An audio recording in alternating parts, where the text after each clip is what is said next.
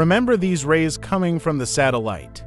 To compare them with the video that follows,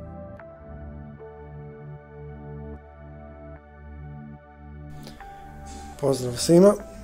Evo da se prisjetimo zadnjeg filma što sam napravio, to je zadnji video, gdje sam govorio o mogućnosti korištenja HARP tehnologije. Evo da se vratimo što sam govorio o onim požarima u Kanadi u Americi, sve što se događa. Sjećate se onih linija što sam govorio. Evo da opet pogledamo u zadnjem videu, sjećate se ovdje je bilo sve puno linija. Evo pogledamo ovdje. Znači tu imamo linije. Evo da pogledamo vremenski. Recimo kako u do, doljem lijevom kutu vidite zadnji sat vremena kako je to išlo. Kako se linije te stvaraju. Ja samo nagađam, ja nisam stručnjak, ali opis kako bi se HARP koristio, satelit koji ispaljuje šta već nekako u zraku, ne? i od toga se stvaraju ili požari ili potresi koji je to bio i u Sloveniji sad nedavno. To jest ne znam da li bio jučer danas nisam siguran. Evo još jedna linija. Evo pogledamo vremenski kako se stvarava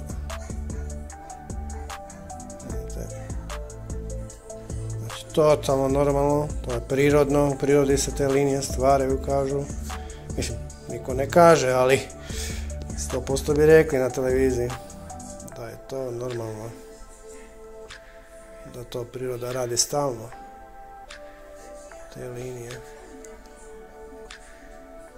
I onda kad su te linije onda se stvore požari veliki ili potresi ili eto ajde da pogledamo trenutačno stanje kod nas u Europi evo naš predivni Zagreb da li ima tu kakvih linija?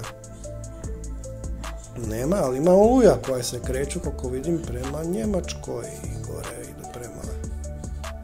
Eto vidimo, isto dosta gadne oluje, velike. Da li tu ima takvih crtica, me zanima? Amo pregledati. Znači, evo točno tu ništa, ništa.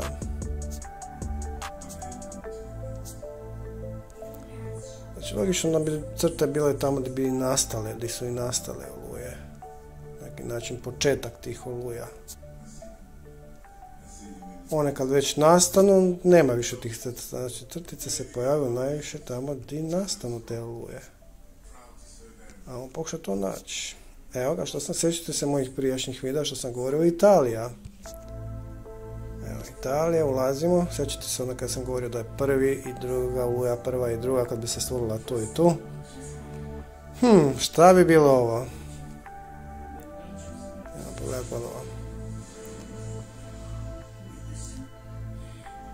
Šta bi bilo ovo tu? Idemo prvo.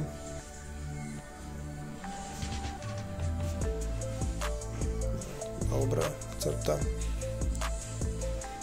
Vidite ovu crtu. Još jedan malo bliže.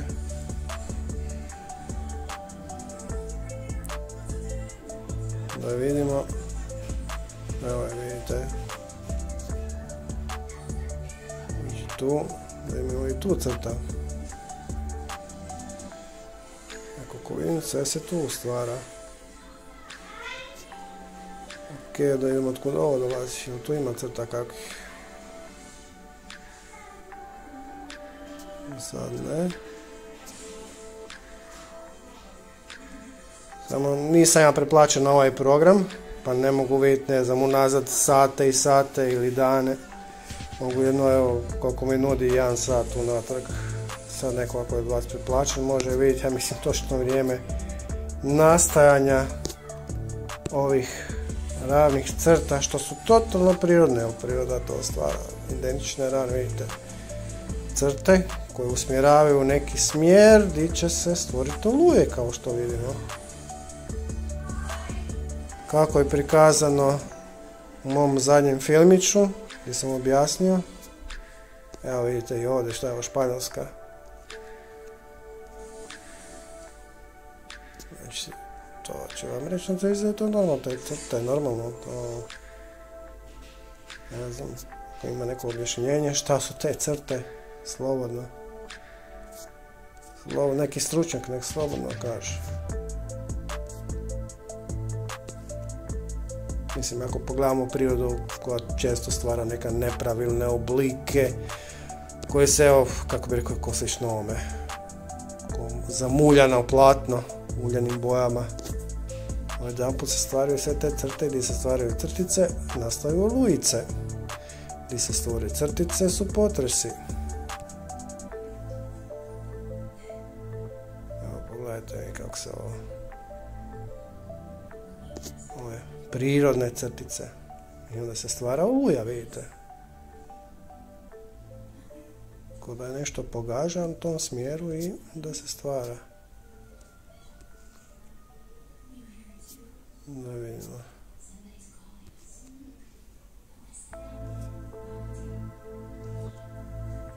Ali eto, koliko vidim kretanje ide opet kroz Italiju, koji standardno sve one prijašnje oluje, pa prema Sloveniji ili eto sad nažalost ide i ovima.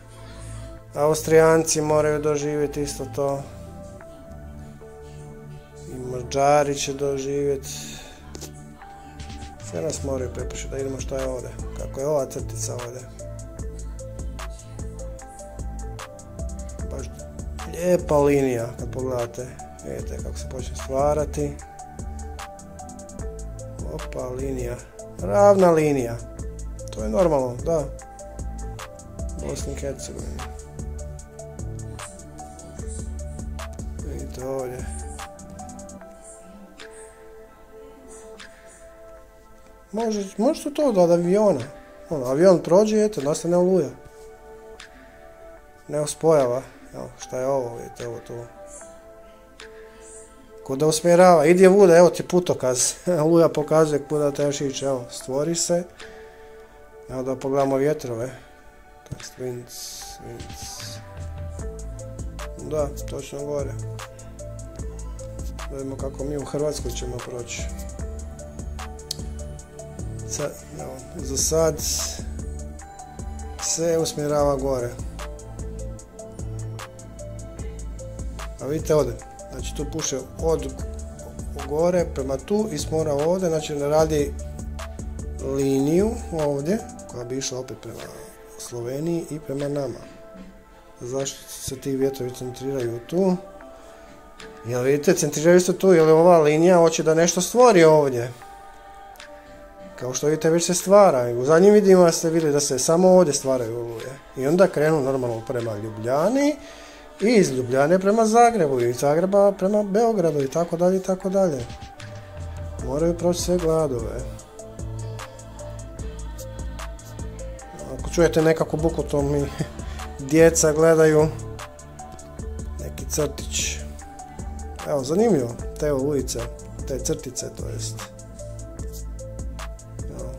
Zadnjim filmićama što sam pričao, pokazivao, Ovdje je bilo jako vidljivo, to sad se ne vidi više, to je bilo prije, ali eto, ovo je jedan od primjera ove crte. Evo, play. Evo, čak i neke stoje, cijelo vrijeme stoje, kod, kod da su užarene.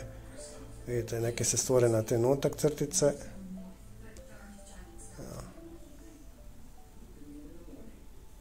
Neke samo na trenutak da ih nešto presjeće, izbaci ko laseri. Samo je čudno, recimo, vidite da je potamljeni neki dijelovi, ko da ne znam zašto je to tako, njihov satelit putuje, pa snima samo određene dijelove zemlje, pa ne, snimaju ove druge dijelove. Ne znam zašto je sve ostalo zatamljeno. Možda sateliti samo hvataju ove dijelove. Bilo mi je zanimljivo, jer znao sam vidjeti iz ovih rubova velike crte prije, dok nisam snimao. Vidite. Vrlo, vrlo zanimljivo, ne? A 100% postoji logično objašnjenje šta su te crte i zašto te crte nastanu i kad nastanu se stvore oluje. To ja mislim vrlo logično i lako za objasniti e, znanstveno ili kako god već. To je prirodno, je tako? To priroda tako stvara te crte.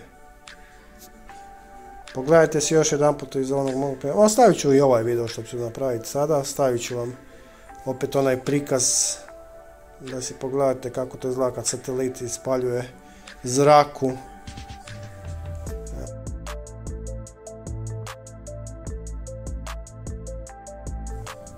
Evo i Španjolskoj vidite tih crta se stvaraju.